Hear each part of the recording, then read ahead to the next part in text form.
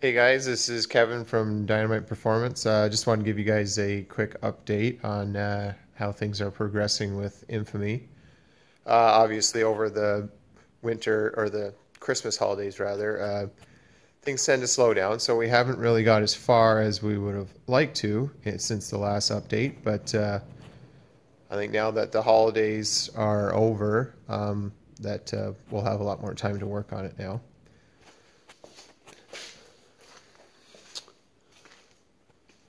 So in the bed, uh, we've got uh, our battery cables run for our battery. Um, we haven't got it tied down yet. Uh, we are getting a tray. Um, you see right there, we've got a hole going down through. Uh, and again, uh, just kind of in raw form right there. Uh, we are going to put a grommet around the hole because you never want to put battery cables through a bare hole like that you risk the wires rubbing on the uh, box and you will end up shorting out eventually. So we just got it up there just to make sure we had uh, power. The back here, we uh, we put a, uh, a disconnect in, just in case anything does go wrong when we're on the track. Someone will be able to quickly turn it off. A lot of the work we've done since the last time is underneath. You see there are the bottom of the fuel cell. We've got our feed and return lines hooked up. Uh, from the feed side, first it goes into a 100 micron filter, then an AEM fuel pump, and then a 10 micron filter. Now, uh, from research that we've done, uh, a lot of people recommend using the 100 micron filter before the pump just because uh, a lot of people like to run foam inside the uh, the fuel cell just to keep the fuel from sloshing around and you don't want any of that debris getting into the pump. Okay, see our red battery cable there, we do need to uh, tie that up. But uh, we've got all the fuel lines uh, where we want them and we've got them secured down.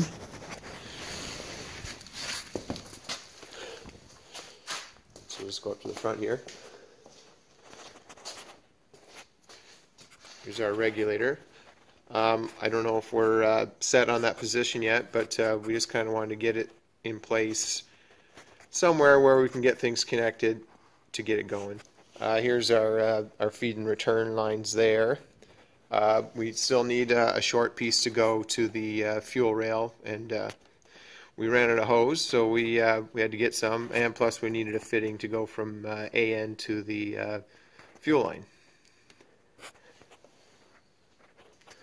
we, have taken the hood off for now. We're going to take the the hinges off and just run four hood pins. There's the hood there, sitting on the back of my old girl.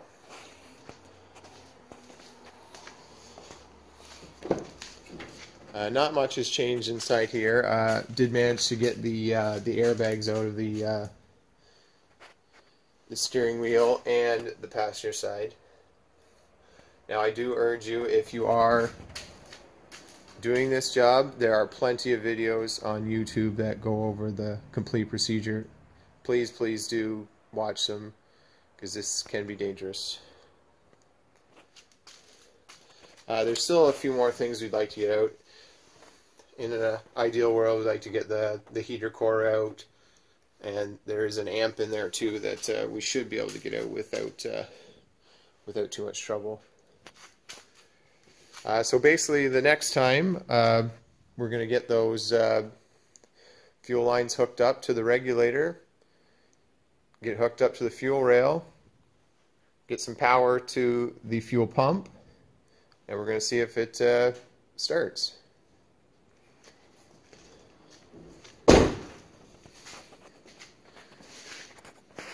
Okay guys, thanks for watching the video and uh, keep up to date with us uh, either on the website or on our YouTube channel. Okay guys, take care.